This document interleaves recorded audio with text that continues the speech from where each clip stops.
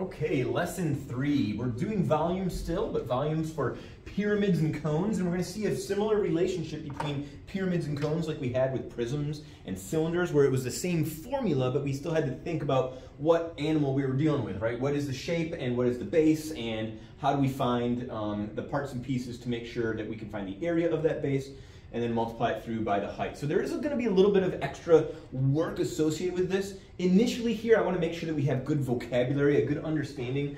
When we talk about a pyramid, most of the stuff that we're going to be dealing with is a regular pyramid, which is a right pyramid where the vertex is over the center. The base is a regular polygon, like a square or an equilateral triangle or a regular hexagon. And then the lateral faces are all isosceles triangles. And this is an important fact because as we've explored um, this semester and last semester with isosceles triangles, when we draw an altitude for that isosceles triangle, it's the perpendicular bisector of the base, et cetera, et cetera, et cetera. You know this language here, but you might not be familiar with this idea of a slant height. So the slant height is a little bit interesting. In a pyramid, if I've got like a square pyramid here, the slant height is actually the height of one of these lateral faces, one of these triangles. So the slant height there is not the length of an edge, of this polyhedron or of this pyramid, it is the, the, the height of one of those generally isosceles triangles is what we're going to be dealing with, is these isosceles triangles. All right, so with that in mind, let's, uh, oh, and we also have the cone, my bad. So here we got the cone. Um, we know what a cone is functionally. The slant height is the length of that lateral edge on the cone because there's not a triangular face, and so that edge is the same all the way around. Um, the height, again, is the length of that altitude. We know what the altitude is. And then again, right versus oblique. Again, like I said, most of the cones and pyramids that we're dealing with are going to be right pyramids and right cones. And specifically with pyramids, most of them, again, are going to be regular pyramids, meaning that the base is a regular polygon. All right, and we know how to find the areas of those regular polygons, that one half apothem times perimeter, or if there's some other shortcut that we can work there. So let's find this connection between the slant height and the height. So again, this will be L, five yards in this case will be the slant height. And this would make a triangle with the height, a right triangle in particular, and what I would call the apothem here, right? The apothem we know is that, that distance from the center to the midpoint of one of the, one of the edges, one of the sides. And so here we have this triangle. Actually, let me do this. Let me press this button here. And we can see that we've got HA and we've got L. Now, with L, we know already that this is five yards. And this apothem we know is half the length of one of these sides. And so this apothem is actually six units here. So we have A is six yards.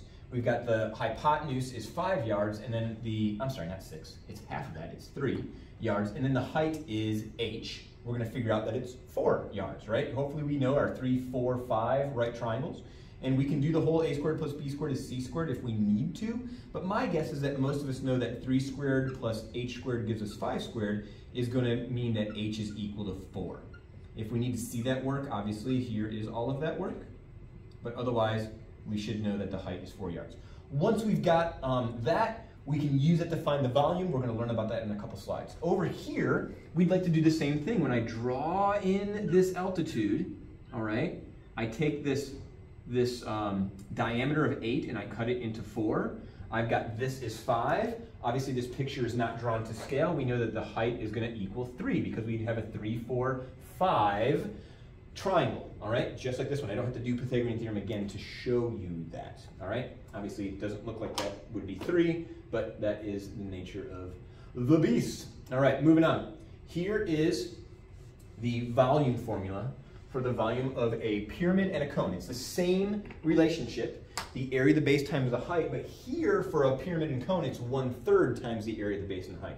We'll do a little exploration in class about that volume, um, and we can still um, uh, you know, think critically about how to find the area of that base, etc. The way that you would have explored this in middle school is this would have been one third times pi r squared times the height.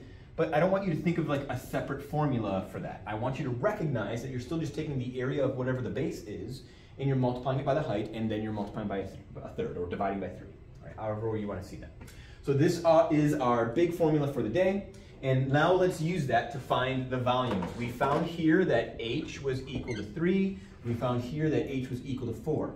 So if our volume is found by taking one third times the area of the base times the height, and if our volume is found by taking one third times the area of the base times the height, then that means that we get to take one third times the area of the base, which is six times six. The height we found was four. Over here, the volume is gonna be one third times the area of the base, pi times, oops, the radius is four squared, and the height we found was three. And so with this, we get one third of 36, which is 12. 12 times four is 48. And again, volume is measured in cubic units. One third times three, those will cancel each other out. We are gonna be left with 16 pi cubic centimeters.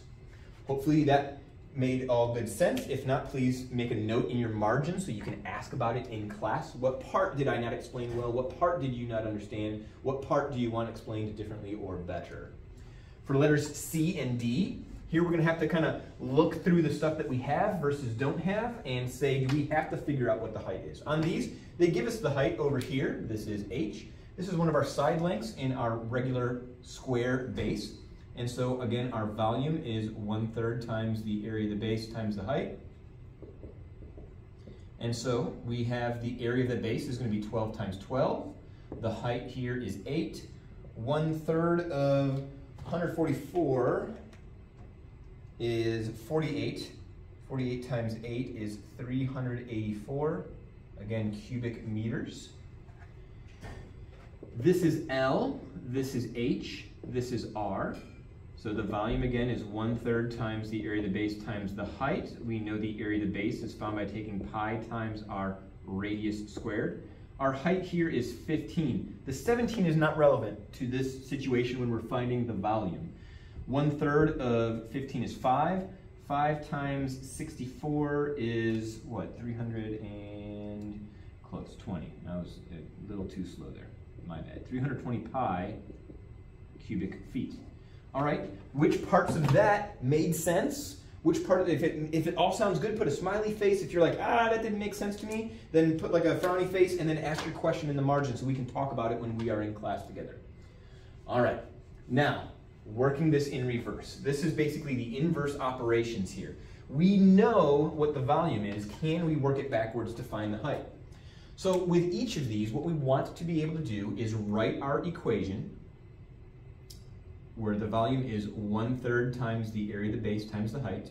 We know the volume is 720, and that's going to equal one third times the area of the base, which is going to be 12 squared or 144, times the height. I would like for you to solve this one. I'll do the other one. I would like for you to solve that one doing Algebra 1, Chapter 2. You can do that. You can also do this one, but I know that this one might be a little bit tough because there's pi involved. And so I want to model for you what that's supposed to look like. The volume here we know is 80 pi. That's going to equal one third times the area of the base, pi times the radius squared, and then times the height of 15. Okay, so with this, there's a couple things we can do. We can start to simplify what's on the right side if we want to, or we can start to get rid of fractions. All right, a lot of folks want to get rid of fractions because of whatever. We don't like fractions. So let's multiply both sides by the denominator. That's going to give us 240 pi is equal to pi times r squared times 15. I can divide both sides by pi. 240 is equal to r squared times 15. I can divide both sides by 15. Whoops. Which gives me 16. And then I can take the square root on both sides. Take the square root on both sides to find out that the radius is 4 feet. All right, now which part of that algebra, if any, did you not understand? I think it's important that you recognize I get that or no, I didn't get that. And so if we get that, then awesome. If we don't get that, then let's figure out what, what the issue is. Here I multiplied both sides by 3. Here I divided both sides by pi. Right, both sides. Um, then I, let's say I divided both sides by 15. And then I square root on both sides. All right, so that's that's the step-by-step -step there if you wanted me to say that one more time. Over here, see if you can solve for h. The operations might be a little bit different, but handling that one-third should be the same. Can you handle that one-third? Hopefully, after all that, you can find the volume for pyramids and cones.